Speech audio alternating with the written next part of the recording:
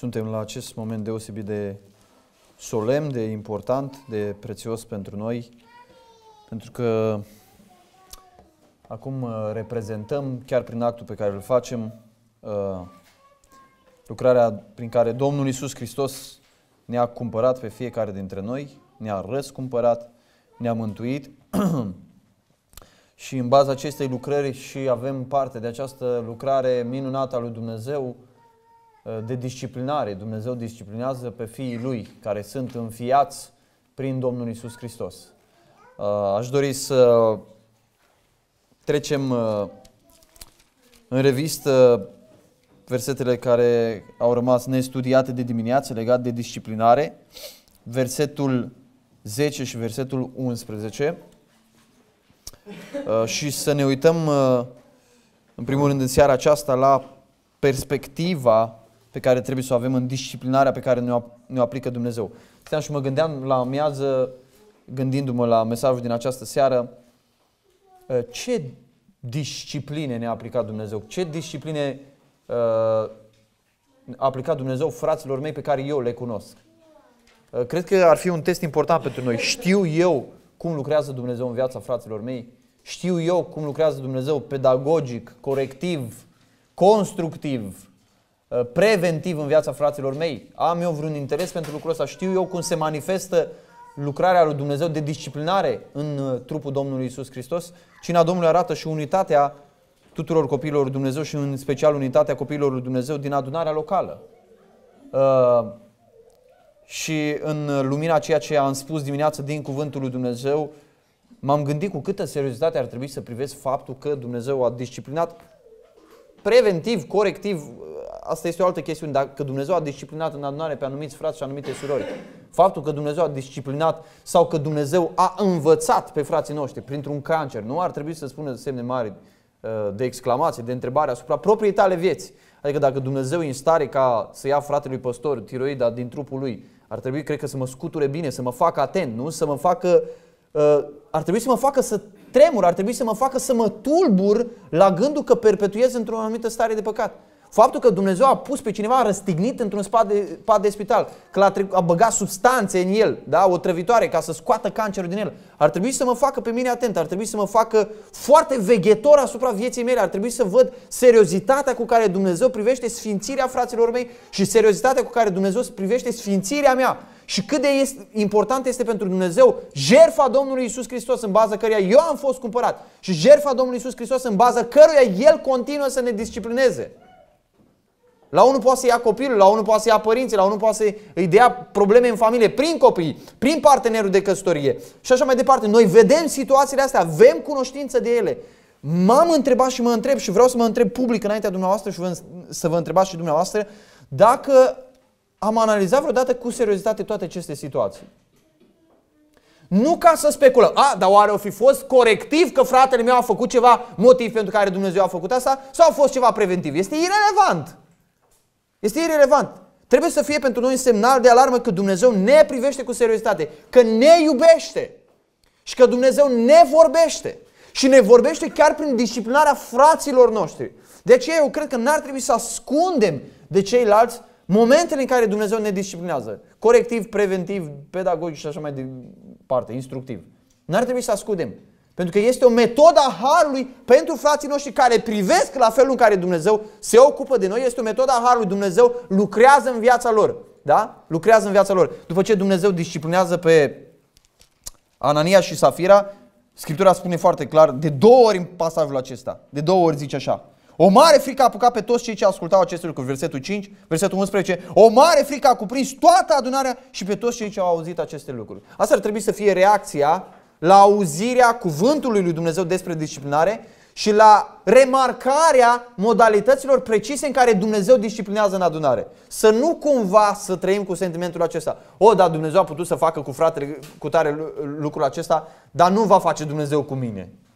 Să nu gândim lucrurile în felul acesta. Dumnezeu este determinat să meargă în disciplinarea noastră până la punctul a ne duce dincolo în veșnicie. Dacă suntem recalcitranți dacă suntem resentimentari, dacă suntem împotrivitori, dacă suntem rebeli, dacă suntem ca un cal sau ca un cătăr care ne împotrivim disciplinării lui Dumnezeu. Versetul 10 ne prezintă perspectiva pe care trebuie să o avem în disciplinare. Și sunt perioade în care Dumnezeu a apăsat cu mâna lui peste adunare mai tare, alte ori în care, uh, perioade în care, alte perioade în care nu vedem apăsarea lui Dumnezeu atât de puternică, dar trebuie să fim pregătiți pentru că este foarte greu să procesezi atunci în disciplinare, când Dumnezeu aplică, nu ia disciplinări în viața ta, atunci să stai să te gândești la teologia disciplinării. Trebuie să o înveți acum. Acum, când mintea ți limpede, da? Când nu ești confuz. Trebuie să înveți ce vrea Dumnezeu să fie mintea ta, care e perspectiva pe care Dumnezeu vrea să o ai. Și autorul ne prezintă o comparație între felul în care ne disciplinau părinții și felul în care ne disciplinează Dumnezeu și trei distinții care există în această comparație. În adevăr, ei, părinții noștri, ne pedepseau pentru puține zile, cum credeau ei că este bine. Dar Dumnezeu ne pedepsește pentru binele nostru ca să ne facă părtași sfințeniei Lui. În prima diferență pe care vreau să o observați între disciplinarea părinților noștri și disciplinarea lui Dumnezeu este perioada. Părinții noștri ne disciplinau, spune aici, pentru puține zile, da? Când ai ajuns major, la un moment dat mi-aduc aminte când tata a vrut să-mi dea o nuia, nu știu cât aveam, 17 ani, 18 ani, când a venit în fața mea, mă uitam așa, mai în jos la el. Eram deja mai înalt decât el și pur și simplu am disprețuit disciplinarea lui sau încercarea lui de a mă disciplina. Și el povestea ulterior, atunci mi-am dat seama că metoda asta nu mai are niciun fel de succes. Da? Niciun fel de succes. Ei ne disciplinau, spune, pentru puține zile. Da? Pentru o perioadă scurtă din viața noastră, comparativ cu cât trăim. Dar Dumnezeu ne disciplinează pentru tot restul vieții noastre. Dumnezeu ne are în vedere toată viața noastră. Dumnezeu nu este ca părinții noștri pământești. Asta este prima diferență. A doua diferență este eficiența. Spune despre părinții noștri că ei ne disciplinau cum credeau ei că este bine, cum găseau ei că este bine, da? După cum, după cum știau ei atunci, da? Este o disciplinare subiectivă pe care ne-au, ne aplicau părinții noștri, da? Și noi știm, privind în spate retrospectiv, și ei privind în spate retro, retrospectiv, știu că ne-au aplicat de multe ori disciplina așa cum nu trebuiau să o facă. Am doar patru ani, jumate de când am pe primul băiat, da, și doi ani jumate plus de când al pe al doilea și pot să privesc în urmă și să spun foarte multe ocazii. Am cre- de multe ori am știut atunci pe loc că n-am făcut bine. Am foarte multe ocazii, am crezut că am făcut bine și ulterior mi-am dat seama că disciplinarea n-a fost bună. Nu este cazul la Dumnezeu.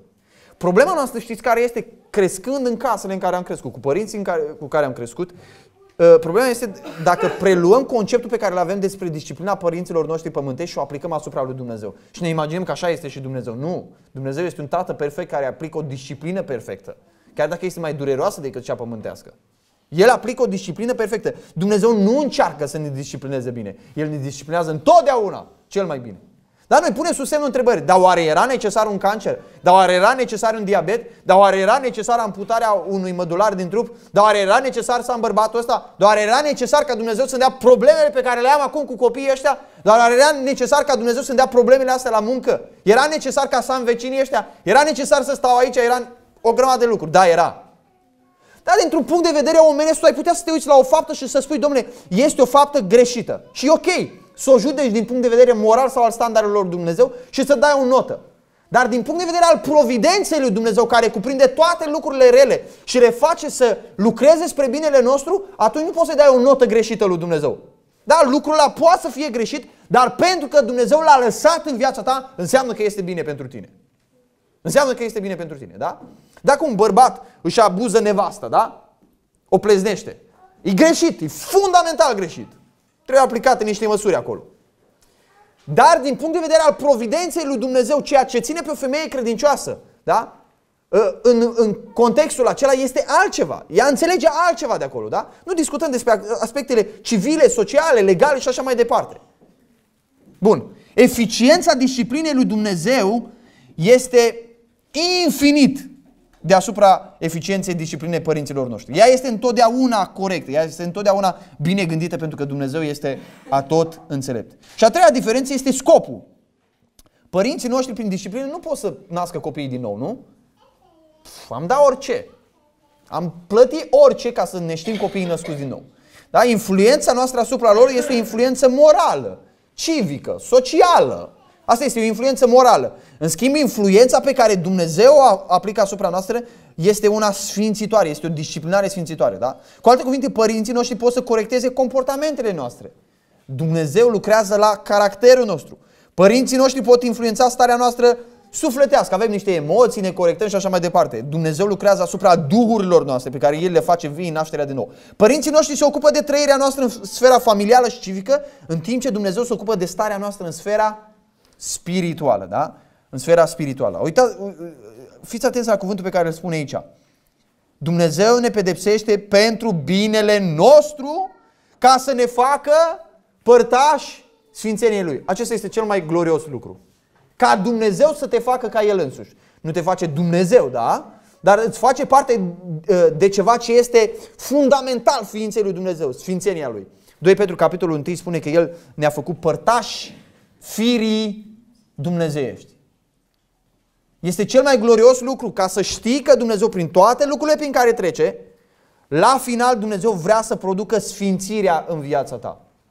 Fă, fă testul ăsta, uite, ia în fiecare zi, nu știu dacă vreți să-l faceți, dar luați în fiecare zi o foaie, A4, și scrieți toate lucrurile nefavorabile, toate lucrurile care au mers prost ziua aia. Și fă așa marți, miercuri, joi, vineri, sâmbătă, duminică. Scrie și o să ai mult de scris. Radu o să aibă mult de scris, Mihai o să aibă mult de scris, eu, Cristina, restul o să avem mult de scris, da? Unii mai mult sau mai puțin, da? Depinde cât de obiectiv suntem. Și la sfârșitul săptămânii elea a trebuit să tragi concluzia că Dumnezeu face toate lucrurile acestea. Ei auziți de ce? De ce le-a permis, de ce le-a lăsat în viața noastră, da? Fără a nega că unele lucruri uh, îi face pe unii responsabili, da? Pentru că le-au comis greșit ar trebui să tragi concluzia așa. Dumnezeu ne disciplinează, Dumnezeu ne educă, Dumnezeu ne instruiește prin toate aceste lucruri pe care le permite în providența Lui pentru binele nostru. La în, fiecare, în dreptul fiecare. Dumnezeu a îngăduit-o pentru binele meu ca să mă facă părtaș Sfințeniei Lui. Mi se pare uneori prețul cam mare. Prețul cam mare. Nu e cam groasă pe care Dumnezeu o pune pe uh, spinarea noastră, da? Pentru Dumnezeu, pentru noi este o onoare să fim făcuți părtați Sfințeniei lui Dumnezeu. Trebuie să privim ca o onoare, chiar dacă procesul este dureros. Rezultatul, asta e perspectiva pe care o trebuie să o am. Dumnezeu face spre binele meu și Dumnezeu face spre binele meu suprem care este împărtășirea cu Sfințenia Lui. Împărtășirea cu Sfințenia Lui. Ceea ce aparține în mod unic lui Dumnezeu, Sfințenia. Ceea ce diavolul cu îngerii nu, nu vor avea niciodată. Ceea ce caracterizează tot cerul lui Dumnezeu, Sfințenia. Ceea ce îngerii privesc cu uimire, contemplă și cântă neîncetat. Ce? Sfânt! Sfânt, Sfânt este Domnul. Aia vrea Dumnezeu să ne dea nouă, da? Ceea ce este sursa frumuseții spirituale ale lui Dumnezeu, Sfințenia. Ceea ce noi am pierdut în Adam și ne-a despărțit de Dumnezeu, Sfințenia. Ceea ce noi am pierdut și constituie sursa tuturor nenorocirilor omului. Ce? Că am pierdut Sfințenia. Ceea ce l-a făcut pe Hristos să coboare pe pământ și să se suie pe cruce. Ce? Că am pierdut sfințenia și trebuia recuperată, că altfel nu putem avea părtășii cu Dumnezeu. Ceea ce Duhul Sfânt vine să producă în noi în urma nașterii din nou. Ce? Sfințenia, că de asta este Duhul Sfânt. Ceea ce constituie lucrarea lui Dumnezeu în toată viața noastră. Ce? Sfințirea. Dumnezeu dorește mai mult sfințirea decât o dorim noi. Motiv pentru care noi nu ne împotrivim până la sânge împotriva păcatului și Dumnezeu este nevoit la versetul 1 la versetul 3 să treacă la versetul 4 la versetul 11 și ne disciplineze El pentru că nu ne-am disciplinat singuri. Dumnezeu dorește mai mult sfințirea noastră decât o dorim noi. Dumnezeu dorește cerul pentru noi mai mult decât îl dorim noi. Dumnezeu dorește mântuirea noastră mai mult decât o dorim noi. Și pentru că El dorește și este consecvent și este credincios, ne disciplinează. Și închei pasajul acesta cu procesul disciplinării. Hai să vedem cum, cum face Dumnezeu această disciplinare. Dar orice disciplinare, spune, versetul 11, este adevărat că orice pedeapsă, deocamdată pare o pricină de întristare și nu de bucurie. Deci, deși are un scop bun, ea este o întristare pentru noi. Asta e paradoxul. Dacă are un scop bun, ar trebui să ne bucurăm de el, nu? Dar paradoxul e că este o pricină de întristare, pentru moment.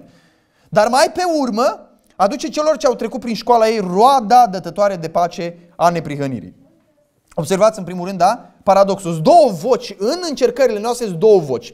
Sunt vocea sentimentelor, care e de fapt vocea naturală a cărnii noastre, care suferă sub disciplinare, sub nuiaua lui Dumnezeu. Suferă.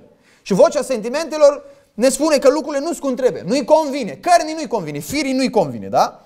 Și apoi avem vocea credinței, care este alimentată de cunoașterea cuvântului lui Dumnezeu și care trebuie să închidă vocea sentimentelor, da? Prin motivele pe care Dumnezeu ni le prezintă în cuvânt, motive care stau la baza disciplinării. Sentimentele noastre, emoțiile noastre ne spun că lucrurile nu sunt cum trebuie. Calvin spune așa. Dumnezeu ne lasă această revelație, acest text în Sfânta Scriptură, ca să nu măsurăm disciplina Domnului după sentimentele noastre. Sau ce spune, nu-i bună. Nu e potrivită, e nefolositoare, provoacă rău. Nu o să iasă bine. Și el continuă, disciplinarea nu poate fi judecată după cum se simte firea sub ea. Cum te-ai simțit în disciplinare? Rău, foarte rău. Dar nu asta e realitatea despre ce s-a întâmplat acolo. Realitatea e ce spune Dumnezeu despre ce s-a întâmplat acolo. Nu despre cum mă simt eu. Firea nu se simte bine sub disciplinare. De aceea am nevoie de revelația cuvântului lui Dumnezeu care să mă înnoiască mintea și să gândesc diferit despre ceea ce eu trec acolo. Da? Cu alte cuvinte, strigătele astea surzitoare a sentimentelor trebuie stinse prin vocea credinței. Vocea credinței este alimentată doar de cunoașterea cuvântului lui Dumnezeu. Doar așa pot să gândesc corect și să trec corect prin disciplinarea lui Dumnezeu. Asta e paradoxul. Uitați-vă practica în care Dumnezeu ne include. E foarte interesant. Termenul școală de aici este termenul gimnazo. La gimnaziu, da? Care în, în, în rădăcina lui nu înseamnă gimnaziu, ci se referă la o deprindere, la o disciplină totală necesară pentru a fi în condiția cea mai bună. Agilitate, rezistență, aptitudini, da? Aici ar trebui să vorbească mai mult fratele Cristi, poate. Sau fratele uh, Ciprian. Acestea sunt câștigate doar prin antrenament riguros și constant.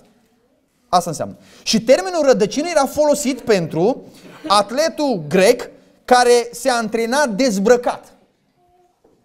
Da? Și a ajuns să fie folosit pentru a descrie antrenamentele acestor oameni. Care era dezbrăcat, ă, nu complet, dar care era în mare parte dezbrăcat, ca să poată antrena corect. Pentru asta este folosit termenul. Și Scriptura ne spune că disciplina lui Dumnezeu este ca acest antrenament în care Dumnezeu ne formează, în care Dumnezeu ne deprinde. Acolo e nevoie de rezistență, de niște aptitudini, de agilitate, de, da? E rigurozitate maximă, e constanță acolo. Nu e ceva pe care ai făcut-o așa pe 100 de metri. Dumnezeu ne implică în acest, în acest proces de disciplinare pentru toată viața noastră. Și poate ăsta e lucru care nu convine cel mai mult.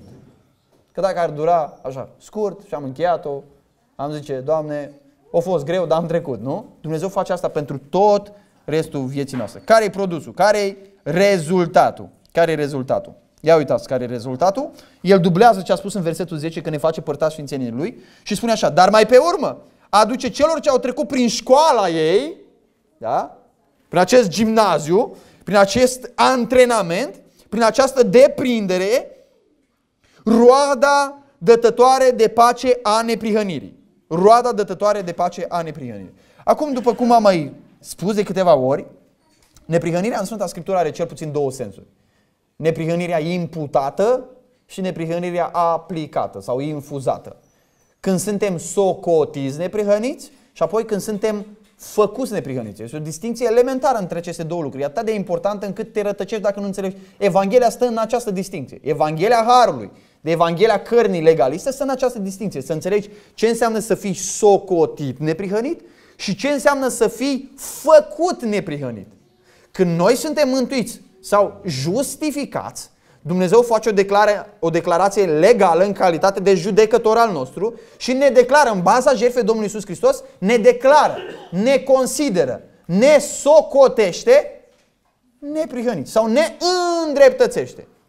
Dar Dumnezeu este preocupat și de a ne face neprihăniți, nu doar a ne socoti neprihăniți de a ne face neprihăniți. Și textul acesta vorbește despre practica neprihănită, nu doar de, nu de poziția neprihănită. Da? Eu sunt neprihănit în poziția mea înaintea lui Dumnezeu. Dar Dumnezeu ne arată că este foarte interesant, este foarte interesat, prin această disciplinare, prin această școală a disciplinii, să ne dea roada, rezultatul, efectul, manifestarea dătătoare de pace a neprihănirii. Care este distinția dintre justificare și sfințire? Hai să facem o distinție între ele, da? Sau mai multe distinții. Sfințirea ține de practica creștinului, sfințirea. Justificarea ține de poziția creștinului, cum a făcut el de la început. Sfințirea cunoaște fluctuații, și niciunul dintre noi nu putem nega asta, Justificarea e fixă, nu se schimbă niciodată. Dumnezeu nu ne justifică mai mult sau mai puțin, ne socotește mai mult sau mai puțin neprihăniți. Sfințirea ne face neprihăniți Justificarea ne socotește neprihăniți. Sfințirea este incompletă cât timp suntem pe pământul acesta. Justificarea este totdeauna completă. Pentru că este baza jertfei Domnului Isus Hristos. Sfințirea este ceea ce Dumnezeu face în noi. Justificarea este ceea ce face față de noi. Sfințirea ține de infuzarea neprihănirii, de implantarea neprihănirii lui Hristos în noi, justificarea de, ține de imputarea acestei neprihăniri, da? Sau de atribuirea acestei neprihăniri. Sfințirea are loc toată viața, justificarea este încheiată la începutul vieții noi. Sfințirea presupune și acțiunile noastre. În sfințire eu sunt implicat, energiile mele spirituale, da? acțiunile mele, efortul meu, lupta mea. Justificarea presupune acceptarea noastră, nu acțiunile noastre. Sfințirea este un proces activ, justificarea este un act în care omul este pasiv. Dumnezeu te declară neprihănit. Da? Distințiile acestea sunt foarte importante. Sunt foarte importante. Pentru că în aceste distinții stă uh, diferența dintre o evanghelie falsă și o evanghelie adevărată. Uh, așa putem să distingem faptele de har, firea de duh, legea de evanghelie. Uh, închei acest uh, uh, explicația acestui verset prin a vă arăta că există o legătură între pace și neprihănire. Auziți ce spune? Prin disciplinare Dumnezeu ne dă roada dătătoare de pace a neprihănirii. Și eu cred că textul vorbește despre siguranța mântuirii. Siguranța mântuirii vine prin încrederea în Domnul Isus Hristos, când ne uităm la jertfa Lui de pe cruce, dar siguranța mântuirii vine și din procesul de disciplinare, când Dumnezeu produce neprihănirea în noi. Când noi vedem nu doar în exteriorul nostru lucrarea lui Dumnezeu, ci vedem și în noi lucrarea lui Dumnezeu. Când eu văd lucrarea lui Dumnezeu, când disciplinează pe frați și produce sfințirea în ei, eu am o siguranță cu privire la ceea ce se întâmplă în viața fraților mei, că ei sunt mântuiți. Nu doar prin faptul că ei mărturisesc că se încred în Domnul Isus Hristos, ci prin faptul că viața lor mărturisește că se încred în Domnul Isus Hristos. Și că au în ei viața Domnului Isus Hristos. Da? Pentru că așa spune textul. Roada dătătoare de pace a neprihănirii. Pacea nu vine fără neprihănire. Pacea nu vine fără neprihănire. Și peste tot în Sfânta Scriptură, și am citit acele multe versete din psalmi, voi uh, uh, repeta doar câteva versete, care arată foarte clar că atunci când Dumnezeu în mânia Lui, da? Mânie arătată față de copiii Lui, da? Dumnezeu este mânios pe păcatul lor, dar îl iubește. Uh, când Dumnezeu pedepsește pe copiii Lui, ei nu se simt bine. Ei n-au pace. Ei n-au liniște. Ei cer ca Dumnezeu să-și retragă mânia, ca Dumnezeu să-i scoată de sub disciplină, da? Îți pierzi siguranța, îți pierzi pacea, îți pierzi bucuria. Vă dau un exemplu notabil de care am amintit de multe ori. Câtă vreme am tăcut, mi se topiau oasele de gemetele mele necurmate. Avea pace? N-avea pace. Era copilul lui Dumnezeu? Era. Că zi și noapte mâna ta apăsa asupra mea. Mi se usca vlaga cum se usucă pământul de seceta verii. N-avea pace.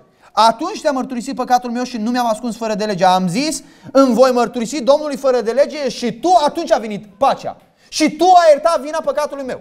Deci el este disciplinat, este adus la pocăință și după pocăință, urmată, da, pocăință care urmează disciplinării lui Dumnezeu, el primește pace. Deci e disciplină, e pocăință și vine pacea. Nu altfel. David, Psalmul 51. Texte foarte bine cunoscute pe care l-am citat de o grămadă de ori în locul acesta, da? El își mărturisește păcatul înaintea lui Dumnezeu și el spune așa, ia auziți. Fă-mă să aud veselie și bucurie și oasele pe care le-ai zdrobit tu se vor bucura. Ce a pierdut? Bucuria. A pierdut bucuria. Întoarceți privirea de la păcatele mele, șterge toate nelegiurile mele. Zidește în mine o inimă curată, Dumnezeu le pune în mine un duh nou și statornic. Nu mă lepăda de la fața ta și nu lua de la mine Duhul tău cel Sfânt. Avea Duhul Sfânt, dar nu mai avea manifestările Duhului Sfânt. De asta se roagă să nu ia Duhul Sfânt de la el. Dăm iarăși bucuria mântuirii și a pierdut pacea și a pierdut bucuria. A pierdut sentimentul părtășiei cu Dumnezeu. A pierdut sentimentul manifestării prezenței lui Dumnezeu în viața lui și pentru un credincios lucrurile acestea sunt foarte, foarte, foarte importante. Foarte importante. Aș dori acum să ne uităm fugitiv la ceea ce ne spune autorul cărții evrei, la versetul 12. După ce a vorbit în primele trei versete despre disciplină disciplina personală în alergare, disciplina personală, după ce a vorbit de la versetul 4 la versetul 11 despre disciplina lui Dumnezeu, Scriptura ne mai arată că mai există a treia formă de disciplină. Deci personală a lui Dumnezeu, o disciplinare în comunitate. În comunitate. În comunitate. Și este foarte important, cred eu, acum, la ceasul acesta, să ne verificăm pe fiecare, fiecare dintre noi personal, să ne cercetăm pe noi înșine, nu pe ceilalți, dacă ne-am îndeplinit responsabilități față de frații noștri în acest proces de disciplinare. Uitați ce ilustrație folosește autorul. Sunt două puncte mari pe care vreau să vi le subliniez. Umblarea noastră pe cale și umblarea noastră în comunitate. Umblarea pe cale și umblarea în comunitate. Umblarea uh, pe cale o vedem uh, descrisă la versetul 12 uh, și versetul 13. Uitați, întăriți-vă dar mâine obosite și genunchii slăbănogiți, croiți cărări drepte cu picioarele voastre pentru ca cel ce șchiopătează să nu se abată din cale, ci mai degrabă să fie vindecat. Mă aduc aminte la școală când dădeam proba la sport, după ce am chiulit tot semestrul la, la sport și trebuia să facem proba aia de fugă,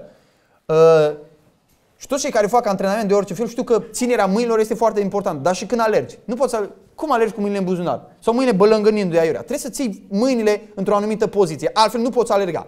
Autorul a început să ne vorbească în primele trei versete din capitolul 12 despre alergare. Și acum vede pe oamenii aceștia care au obosit, care slăbănogiți și le spune întăriți-vă mâinile. Folosește o ilustrație, da? Ilustrația alergătorului și genunchii slăbănogiți. După ce fugi, da? Și începi să slăbești zonele care te dor genunchii. Simți că nu mai poți să stiri picioarele după tine, da? Te dor genunchii foarte mult, da? Te dor genunchii foarte profund, foarte tare. Și apoi spune croiți cărări drepte cu picioarele voastre, da? Ăștia sunt oameni care au obosit în alergarea lor și acum schemați să se întărească. Să se întărească, da? Cu siguranță autorul folosește un limbaj metaforic pentru a descrie umblarea noastră spirituală, da? Cât și acțiunile noastre, faptele noastre, da? De asta vorbește despre mâini, genunchi și picioare, da? Creștinul care umblă în lumea aceasta și care acționează. Și el cere ca ei să se întărească, da? E o întărire duhovnicească, da? El nu se referă aici la o autosugestie din asta prelungită pe care și-o induce creștinul, ci se referă la o întărire în Hristos, o întărire în Dumnezeu, pentru că uh, aduce pasajul acesta ca un fel de climax la ceea ce s-a spus înainte despre Hristos. Da? Uitându-te la tot ce s-a spus în, până la capitolul 11 despre Hristos și uitându-te la norul acela de martori care au finalizat bine prin credință, ce spune? Întăriți-vă și voi duh- duhovnicește, da? Priviți la Hristos, ațintiți-vă privirile spre Hristos și întăriți-vă duhovnicește. De ce să facem lucrul acesta? De ce să facem lucrul acesta? Dar observați, zice, întăriți-vă dar mâinile obosite și genunchii slăbănogiți, care se face prin privirea la Hristos, prin puterea lui Dumnezeu, prin cuvântul lui Dumnezeu, prin toate metodele Harului și apoi spune, croiți cărări drepte cu picioarele voastre, da? Deci ne întărim duhovnicește și trebuie să înaintăm apoi drept, da? Să avem un mers direct, drept, hotărât, sfânt, un mers care devine model pentru ceilalți. De ce spun asta? Pentru că zice așa, croiți cărări drepte cu picioarele voastre pentru că cel ce șchiopătează, frații de-a noștri care sunt slabi, ăsta cel ce șchiopătează, să nu se abată din cale, ce mai degrabă să fie vindecat. Deci sunt două acțiuni pe care trebuie să le fac. Să mă întăresc duhovnicește eu pe mine însumi și apoi să înaintez drept, să am o cale dreaptă, o cărare dreaptă, o umblare dreaptă, nu șovăielnică, nu înceată, nu când în stânga, când în dreapta, ci o cărare dreaptă, da? Dacă m-am întărit, cum spune cuvântul lui Dumnezeu, atunci voi croi o cărare dreaptă cu picioarele mele, prin umblarea mea. De ce să fac lucrul acesta? Pentru că există un efect asupra fraților mei. Frații mei sunt legați de mine, ei se uită la umblarea mea și au dreptul să o facă. Și în special spune Scriptura că frații slabi să vor uita. Și dacă eu m-am întărit spiritual și dacă am înaintat drept pe calea Domnului, frații mei care sunt slabi, care sunt șchiop, care șchiopătează, care au genunchii slăbănogiți, care au și ei mâinile obosite, se uită la mine și spune așa, nu se vor abătea din cale, ci mai degrabă vor fi vindecați. Asta înseamnă că ei au o boală spirituală, da? Sunt slabi, șchiopătează, îs obosiți. Cel mai bun lucru pe care pot să-l fac e să fiu un model bun pentru ei. Biblia nu spune, domnule, noi putem să stăm după toți. Dacă nu vin după noi, asta este. Noi trebuie să mergem până la capăt. Biblia nu spune așa. Biblia spune să mă, să mă întăresc pe mine însumi, să înaintez drept și impulsul care mi se dă este ca să vindec. Modelul meu va fi o vindecare pentru fratele meu slab. Biblia nu spune să-l disprețuiesc, ci Biblia spune să fiu un model bun pentru el. Da? Să fiu un model bun pentru el. Acum, această abatere din cale despre care vorbește textul aici, poate să fie datorită nouă. Este foarte interesant că uh, în limba greacă se observă mai bine lucrul acesta, uh, a să abate din cale și a fi vindecat sunt două verbe pasive. Adică îi se întâmplă lucrul ăsta lui. Cu alte cuvinte, ai putea să citești textul așa. Croiți cărări drepte cu picioarele voastre pentru ca cel ce șchiopătează să nu fie abătut din cale, ci mai degrabă să fie vindecat.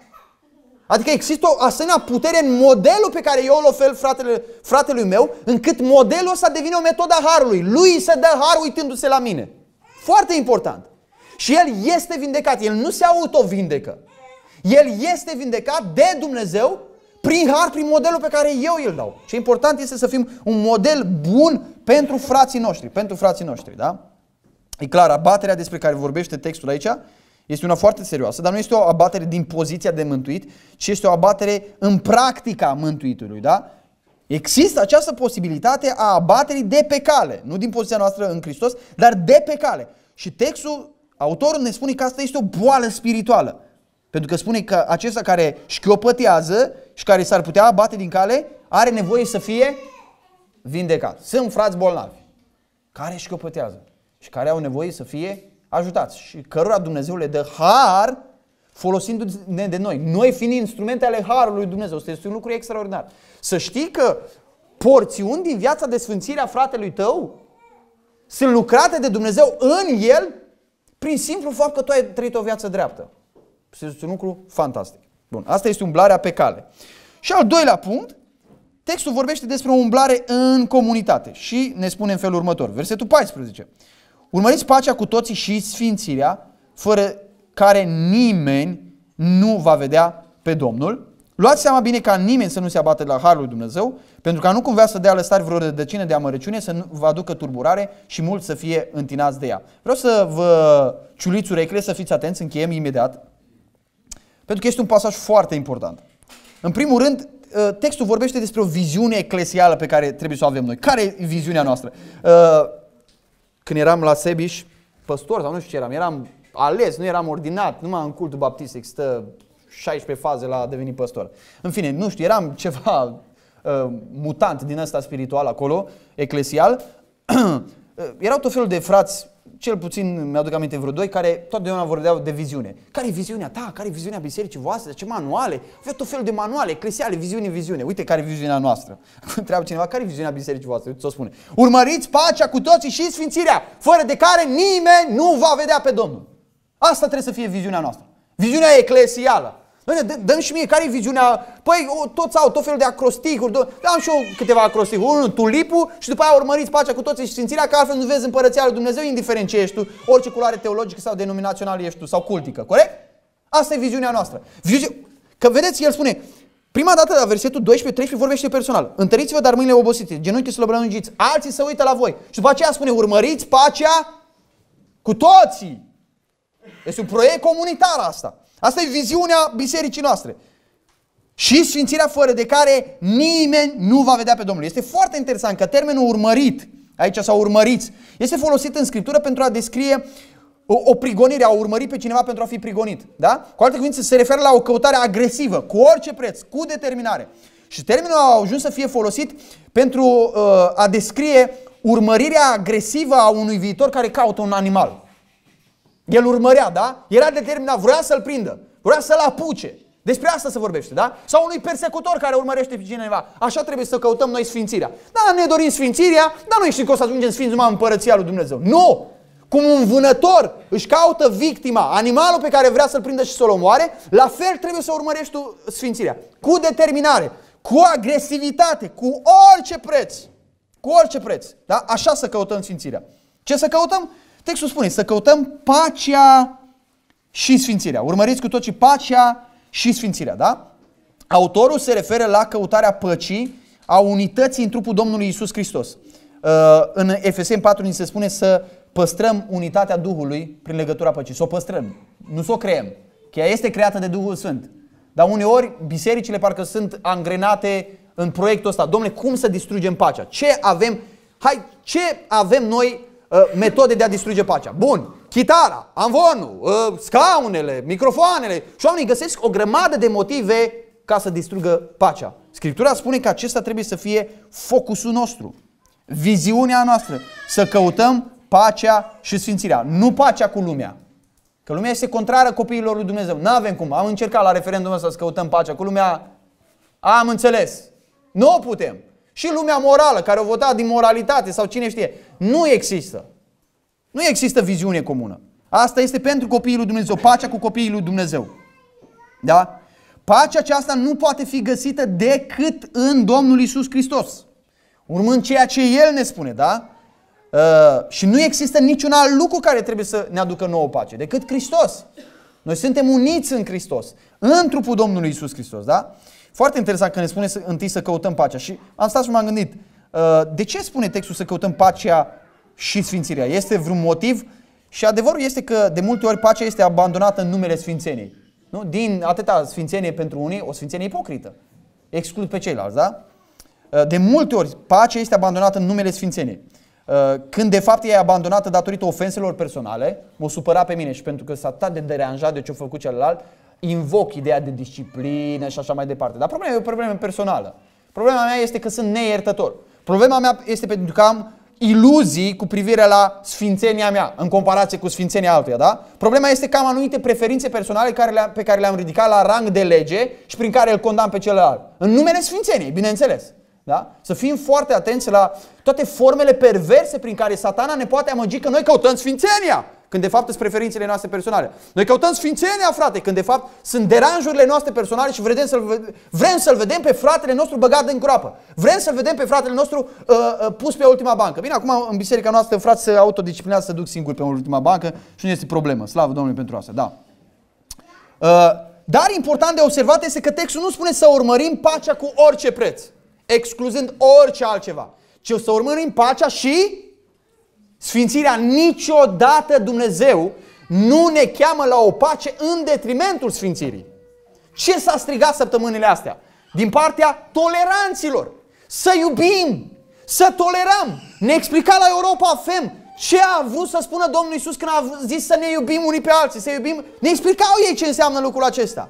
Și explicația pe care o dădeau este că nu sfințirea este importantă. Nu ce a lăsat Dumnezeu în cuvântul lui, Domnule. Ci să respecti pe celălalt ce vrea să facă el, cum vrea să trăiesc el. Nu. Nu. Urmăriți pacea cu toții și sfințirea. Sfințirea. Orice pace care exclude sfințirea, care diminuează sfințirea, care desconsideră sfințirea, care pune în umbră sfințirea, care atinge sfințirea, este o pace demonică lumească, firească, drăcească. Nu are nicio treabă cu pacea care este în cuvântul lui Dumnezeu. Noi vrem să avem pace cu toată lumea, dar în termenii lui Dumnezeu. Noi vrem să avem pace în adunare, dar în sfințire. Să urmărim, asta e viziunea noastră, să păstrăm unitatea trupului Domnului Isus Hristos în sfințire. În sfințire. Doamne ajută-ne. Deci cum să căutăm? Cu agresivitate. Ce să căutăm? Pacea și sfințirea? De ce să căutăm? Fără de care nimeni nu va vedea pe Domnul. Și este o, o, un cuvânt foarte serios pentru noi. Foarte serios pentru noi. E clar că oamenii ăștia sunt mântuiți. Numai mântuiții pot să caute pacea și sfințirea. Nu spune un nemântuit să caute pacea și sfințirea, da? Nu spune să caute pacea și sfințirea ca să fie mântuiți. Dar, dovada că suntem mântuiți este că vom căuta pacea și sfințirea, că altfel nu vom vedea pe Domnul. De ce? Pentru că Dumnezeu este sfânt. Dumnezeu este promotorul sfințeniei. Și Dumnezeu, cum spune în versetul 10, ne-a angajat într-un proiect de disciplinare ca să ne facă părtași Sfințeniei Lui. Deci Dumnezeu e preocupat de lucrul ăsta și îți dă cu Jordan și spune caută tu pacea și Sfințirea. Ca proiect comunitar. Că Dumnezeu își dorește lucrul acesta și va face lucrul acesta în adunare. Deci asta e viziunea eclesială și încheiem cu vegherea eclesială. E, e extraordinar uh, versetul 15 uh, pentru că este uh, cuvântul supraveghere folosit aici. Cornelescu l-a tradus cu luați bine seama. Textul ar fi cam așa. Urmăriți pacea cu toții și sfințirea fără de care nimeni nu va vedea pe Domnul, supraveghind ca nimeni sau veghind cum să urmărim? Veghind ca nimeni să nu se abată de la harul lui Dumnezeu, pentru ca nu cumva să dea lăsturi vreo rădăcină de amărăciune, să vă aducă turburare și mulți să fie întinați de ea. Deci expresia luați bine seama, care este în unele traduceri uh, prezentat cu cuvântul veghind, este cuvântul episcopeo. Ce cuvânt avem noi la episcopeo? Ce avem? Episcop. Episcop înseamnă un ce? Supraveghetor.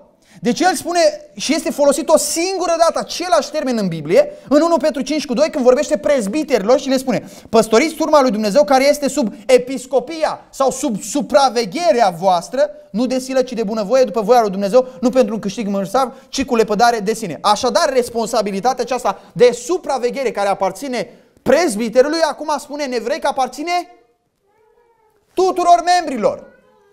Urmăriți cu toții pacea și sfințirea fără de care nimeni nu va vedea pe Domnul, supraveghindu-vă unii pe alții. Da? Toți, într-un fel, suntem e, episcopi cu e mic. Este un mare episcop al sufletelor noastre, Domnul Isus Hristos. Dar într-un sens restrâns, fiecare dintre noi suntem episcopi, suntem îmbrăcați cu această responsabilitate de a ne supraveghea unii pe alții. Pentru ce să ne supraveghem? De ce să ne supraveghem? Vă dau două motive și în seara aceasta abordez doar unul pentru că celălalt este mai complex și mult mai serios. Cele două motive sunt abaterea și apostazia. Abaterea și apostazia. Observați două verbe importante aici. Zice așa.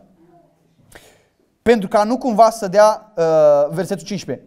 Ca nimeni să nu se abată și versetul 16, uitați ce atent alege autorul termenii. Vegheați să nu fie între voi. Să nu te abați și să nu fii cumva, da?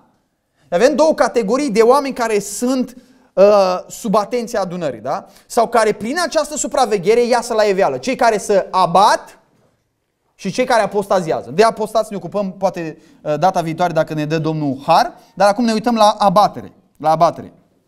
Deci motivul pentru care trebuie să supraveghem, să fim episcopi, este ca nimeni să nu se abată de la harul lui Dumnezeu. Cred că contextul foarte clar ne vorbește despre har, nu harul mântuitor, ci de harul sfințitor. Mă pot abate de la harul sfințitor? Da, poți. Da, poți. Dacă nu veghezi, dacă nu asculți de cuvântul lui Dumnezeu, dacă nu frecventezi adunarea, dacă nu te rogi, dacă nu ești veghetor, da, te poți abate de la harul sfințitor. Dacă nu folosești toate canalele, instrumentele, metodele Harului lui Dumnezeu, te abați de la Harul lui Dumnezeu. Sigur că te abați de la Harul lui Dumnezeu. Și spune să veghem unea asupra altora ca nimeni să nu se abată de la Harul lui Dumnezeu. Deci chestiunea nu e că am eu așa un fel de, de interes de ăsta morbid, un fel de interes de ăsta malefic să tot îl scârți eu pe fratele meu, să tot îl enervez pe fratele meu, să tot îl sun pe fratele meu, să tot îi trimit mesaje. Să tot ăsta vede iar notificare. Iar mă bâzie ăsta.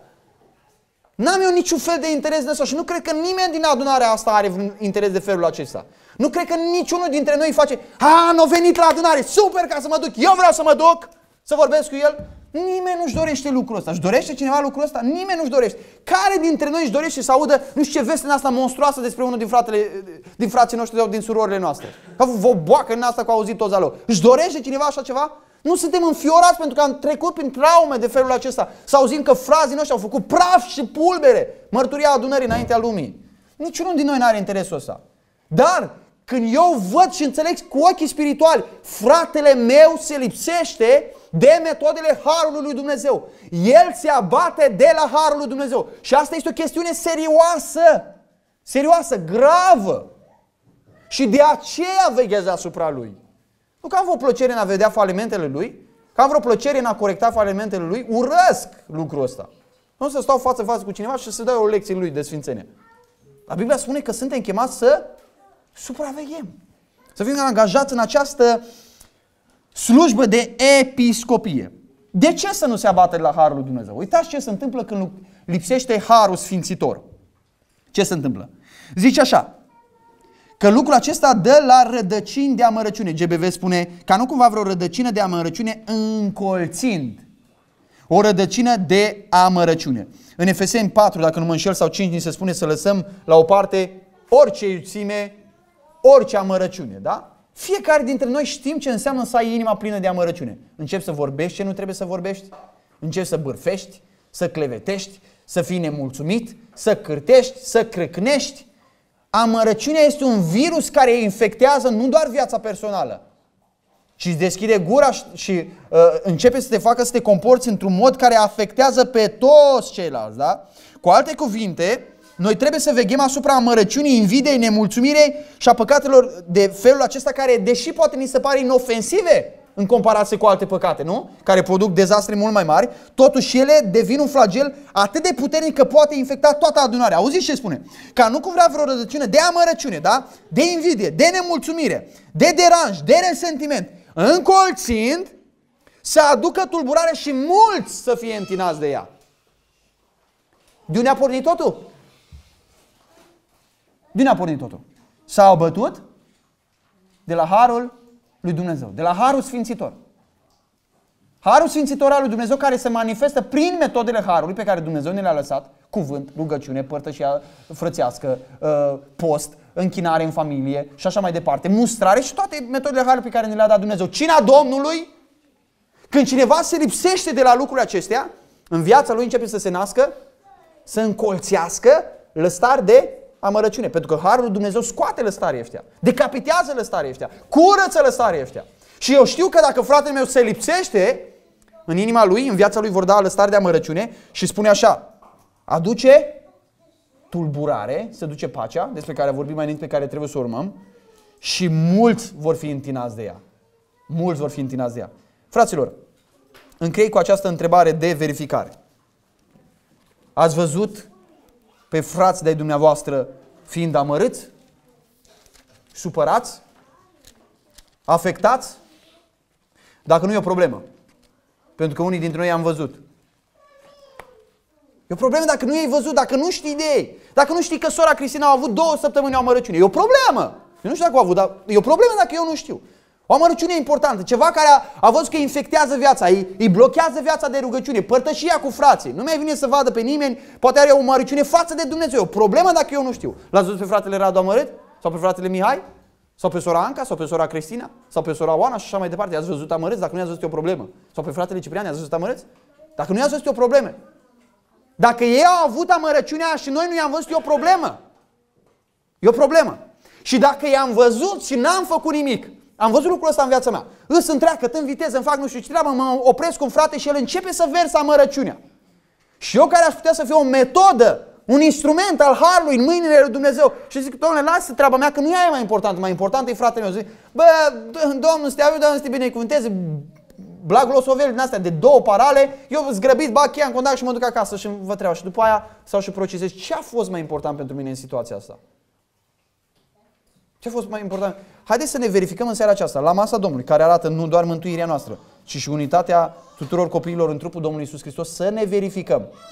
Care este atitudinea noastră față de frații noștri? Și bineînțeles, vreau să vă încurajez, apropierea noastră de masa Domnului se face în baza jertfei Domnului Isus Hristos. Dar trebuie să facă cu pocăință, cu evaluare de sine, cu cercetare de sine, cu lepădare de sine, cu mărturisire sinceră a păcatelor noastre pe care le avem înaintea lui Dumnezeu. Dumnezeu să ne dea putere în seara aceasta ca să nu subapreciem jertfa Domnului Isus Hristos, pentru că într-adevăr ea este singurul temei. Dar în același timp să verificăm dacă această jertfă a Domnului Isus Hristos, care ne-a imputat neprihănirea Domnului Isus Hristos, și lucrează în viața noastră practic. Mă aduc aminte că am crescut cu această convingere, auzeam ani de zile, am fost spălat pe creier, ani de zile am fost spălat pe creier cu Evanghelie farsă la cina Domnului. Erau frați în adunare, mi-aduc aminte special un frate care predica curat, curat Evanghelia Domnului Isus Hristos. Mă, mă zgudea din temelii ca necredincios, mă zgudea Duhul Sfânt când auzeam Evanghelia predicată din gura acestui frate care a fost prezbiter în adunarea noastră. Dar mi-aduc aminte că la cina Domnului se predica o falsă Evanghelie. O Evanghelie legalistă. Cum a fost luna asta? Cum ai fost săptămâna asta? Și să știa, în săptămâna înainte de cina Domnului trebuia să te duci să se rezolvi toate problemele. Nu ți le rezolvai toată, toată luna. Sau nu le rezolvai două, trei luni. Dacă vrei să ieși tu la câteva luni ca să nu bată la cina Domnului, trebuia să le rezolvi atunci mecanic, așa, ă, într-o discuție rapidă cu cineva, ca să poți să vii la cina Domnului. Cine este vrednic să ridice în picioare? Bă, mă uitam, domn, avem ceva față vrednic, nu chiar toți îți vrednici, dar câțiva îți vrednici în adunare. Și se ridicau vrednice în picioare. Eu dacă aș auzi în adunarea asta, să spunem fratele într-o zi, cine e vrednic să se ridice picioare, eu mă bag sub bancă. Că mă trăzi Dumnezeu. Mă să nu mă vadă. Când vine să-i găsească pe ăștia vrednici, să vadă că nu e niciunul vrednic. Noi știm că nu suntem vrednici, nu e niciunul vrednic aici. Niciunul n-a avut o săptămână extraordinară. Am avut o săptămână extraordinară, dacă a fost extraordinară, a fost datorită Harului lui Dumnezeu care ne-a curățat și ne-a iertat toate păcatele noastre. Nu că n-am avut păcate săptămâna asta. Nu că nu știu ce performanțe am avut noi luna asta. Venim, da, Doamne, suntem vrednici de sângele Tău. Ce grozavi suntem noi. Niciunul, e o blasfemie, numai să te gândești așa. E o blasfemie. Noi nu predicăm o evanghelie într-un fel, cu gura, și când ne apropiem de masa Domnului, predicăm altă evanghelie, falsă, care contrazice total ce am spus. Și venim noi vrednici. Este unul singur vrednic. Și când venim la masa Domnului, contemplăm prin credință, prin ochii inimii noastre, chipul Domnului Isus Hristos răstignit pe cruce care este singurul vrednic. La cruce asta ne-a arătat că niciunul dintre noi nu este vrednic. Nu suntem vrednici, dar suntem învredniciți prin neprihănirea pe care El ne-a imputat-o. Să fie, să fie numele Lui. Venind în felul acesta la masa Domnului, Uh, vreau să avem această concepție corectă despre ceea ce suntem noi, despre ceea ce este Domnul Isus Hristos. Și nu există un mod mai minunat, mai clar în care Dumnezeu ți arată este atât de ticălos, atât de stricat, atât de nenorocit, atât de bălăcărit în păcate, încât numai moartea Fiului lui Dumnezeu, curat și fără pată, a putut să te scoată de acolo.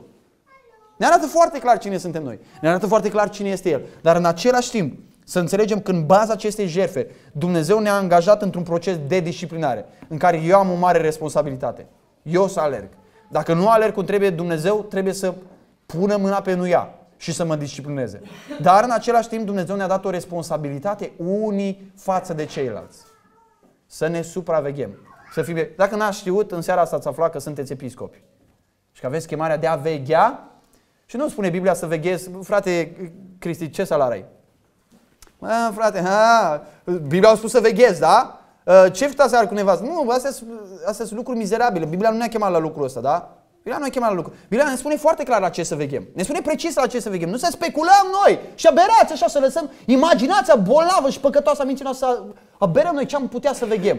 Bine, ne spune ce să veghem. Da, mă găsești într-o seară cu binoclu, nu cred că ai gar, la gardul Mihai, să văd ce face el în casă. Biblia a spus să veghem. Păi dacă el știe că vin mai poveghea, că el se comportă mai pocăit decât se comportă când nu-l vede Nu, nu, astăzi Biblia ne spune la ce să veghem, da? Și Duhul Sfânt ne va călăuzi și ne va arăta în conformitate cu Cuvântul lui Dumnezeu care sunt acele stări de amărăciune din viața fraților noștri pe care Dumnezeu ne cheamă să eretezăm prin puterea Cuvântului lui Dumnezeu cu dragoste, cu blândețe, ca să nu se abată de la harul sfințitor al lui Dumnezeu. Și să nu dea în inimile lor, în viața lor, niște lăstari de amărăciune care vor infecta toată adunarea. Toată adunarea. Dumnezeu să ne avute să ne dea harul acesta. Amin.